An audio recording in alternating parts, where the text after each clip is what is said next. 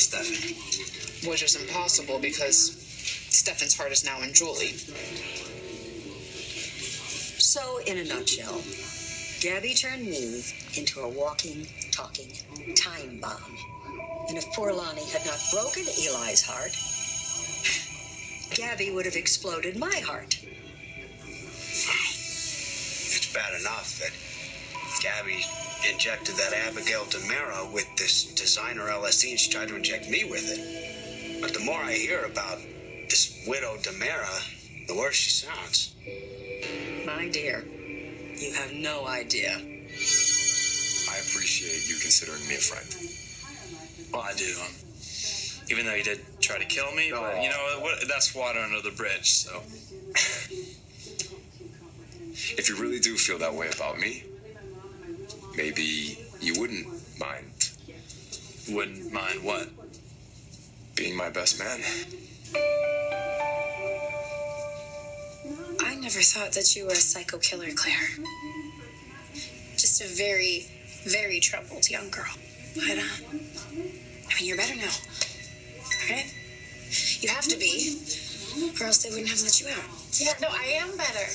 I am so much better, and, and I'm beyond grateful to my doctors and Marlena for believing in me. But Ciara, what you think matters more than all of that because you were the person I hurt the most. There were plenty of times that I hurt you too.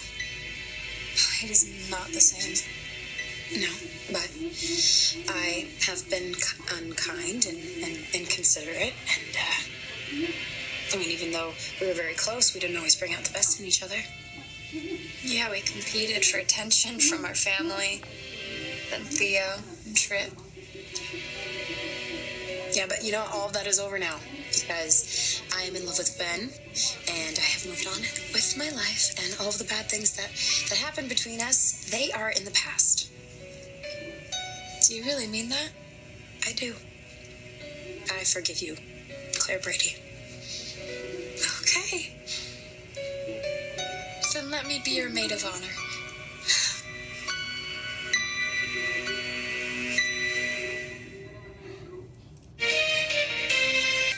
Wish you were. Of course, your revenge still matters. Yeah. I just don't think having sex is essential to making Xander miserable, do you? I am not going for run of the mill misery here. I want to cause maximum pain. So if he finds out that we actually slept together, that will totally do it. It will be a death blow.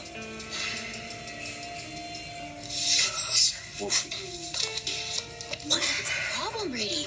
Please do not tell me that replacing him as CEO is enough for you. I guess it's not. No. You, you guess?